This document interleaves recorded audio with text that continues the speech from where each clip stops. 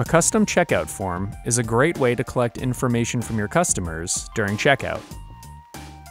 This can be enabled to allow for a unique gift message, custom delivery instructions, or even require your customers to agree to your store's terms of service.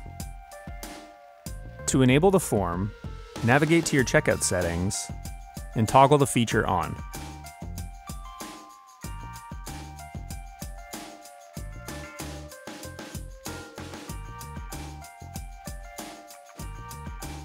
Then, select Edit. Add a clear form name to help your customers understand what they're filling out. Next, add form fields based on the type of information that you would like to collect.